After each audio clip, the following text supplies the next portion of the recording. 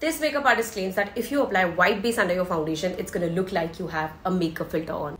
Let's go ahead and whitewash my face. Honestly, at this point, it feels really wrong. She also said you're supposed to use your darkest foundation, and I literally bought one. Here goes nothing foundation.